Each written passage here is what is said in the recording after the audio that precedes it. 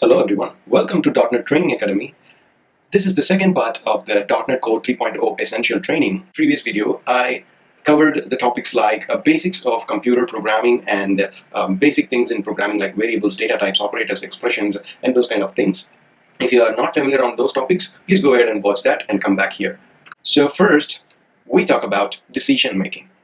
We are going to take a decision in our day-to-day -day life just like that, computer is also make decisions in certain situations.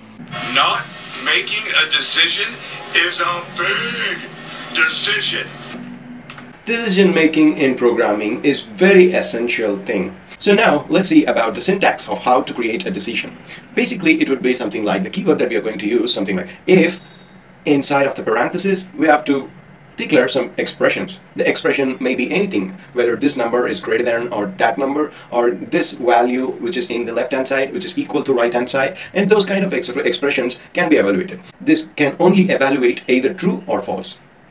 So which means if the condition is true, it will do this stuff, or if it is false, it will go and do some other stuff. So basically, if the condition is true, it will get inside of the block, or the if block. If it is false, it will get in the other portion, which is the else block. So now I just created a simple console application.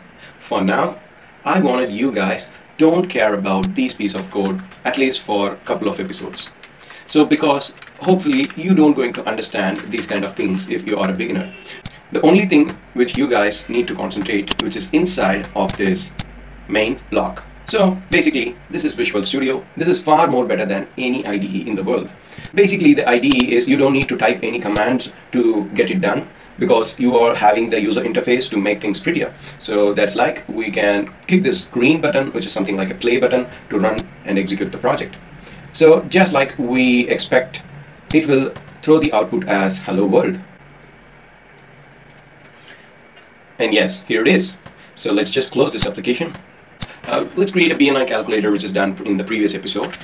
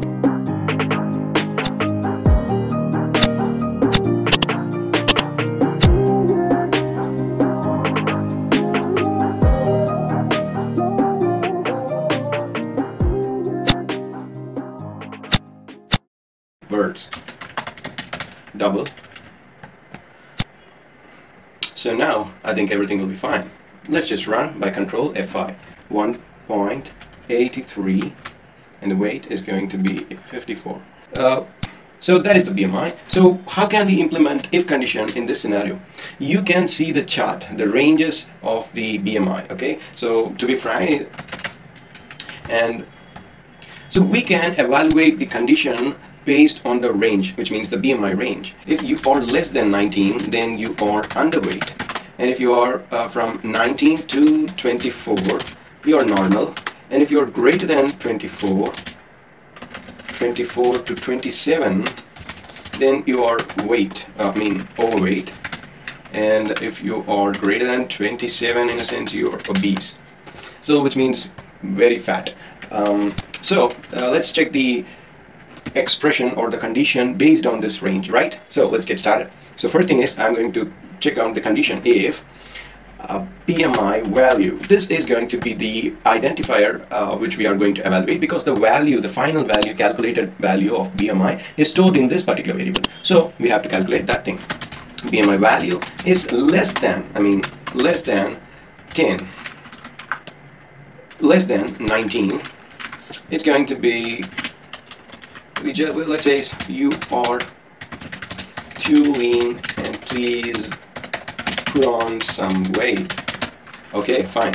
Else, you are not lean, right? So this is the basic and simple evaluation, and it's it's something like a binary evaluation. Either if it is true, and it will get inside of it and print the statement. If it is not true, it will goes to the other part, which is the else part, and prints the statement. So now let's just run this program. So on point 85 and weight is 56. So here the range BMI value is 16.362385. So here you cannot see it's just a number, right? You're so the so it is so it's just showing the message. You're too lean and please put on some weight. And when you come to see here, it's just a simple number. You cannot see what the thing is going on there, right? So uh, instead of printing just a value, we can make a string interpolation, which means the string uh, concatenation with the BMI value. So let's do that. So all you need to do is to, to uh, put a dollar symbol, and inside of the double quotes, we have to use these things. So we don't.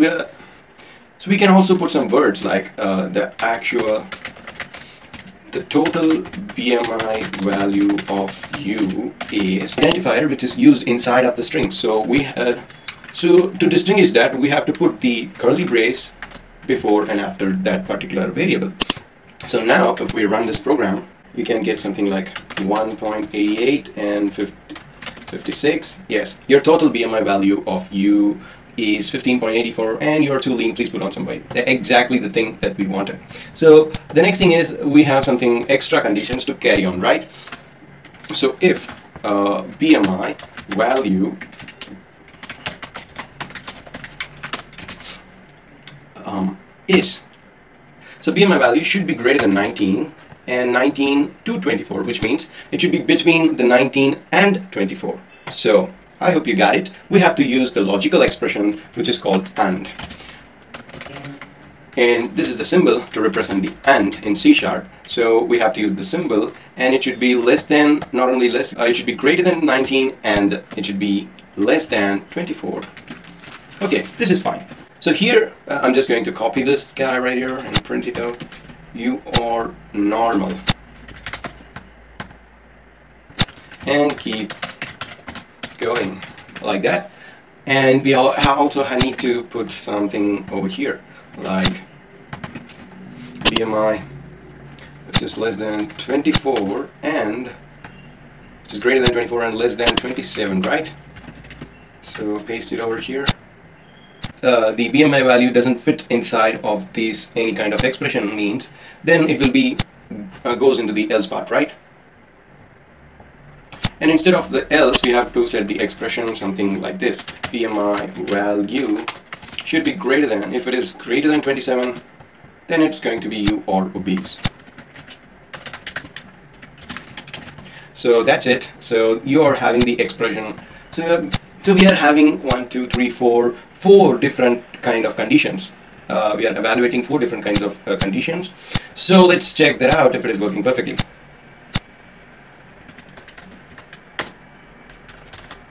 Yes it's working exactly that we wish and let's check for another kind of numbers. 1.87 and the weight would be something like uh, 80 88 ah yeah you're overweight please reduce some weight. So this is what exactly we expected and it's working fine. But there is still some issue in this thing.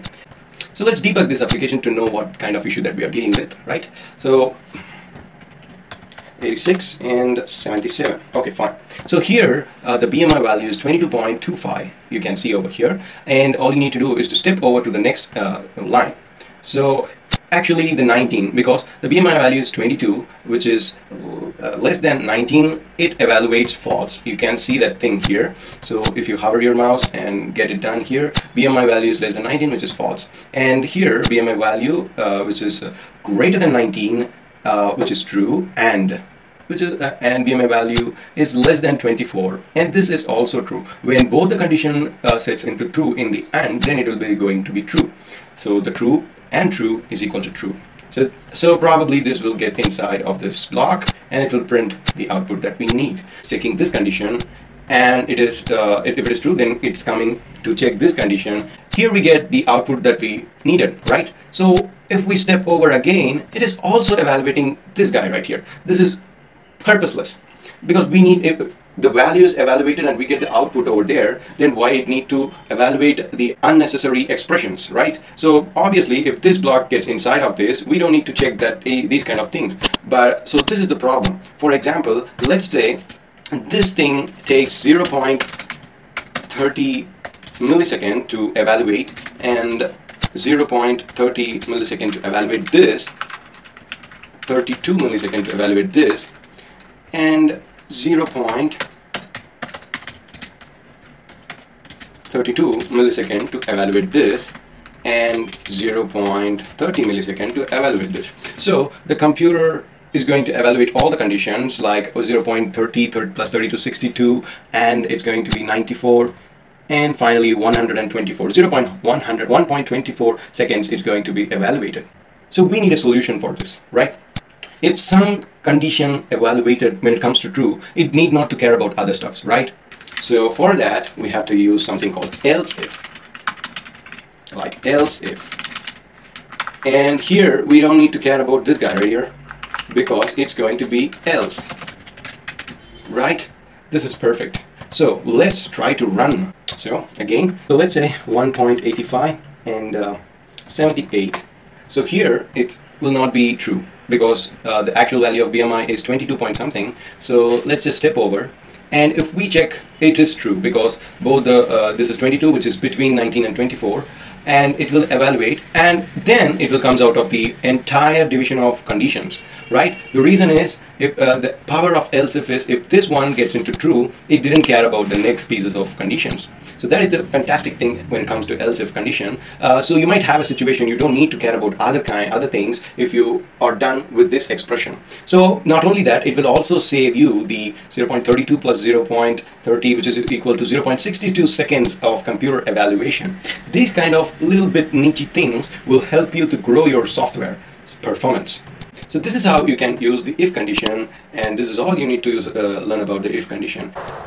That's it for this video. If you like this video, please like. If you have any doubts, please comment that below and just share this video to your friends and if you're not subscribed, please subscribe.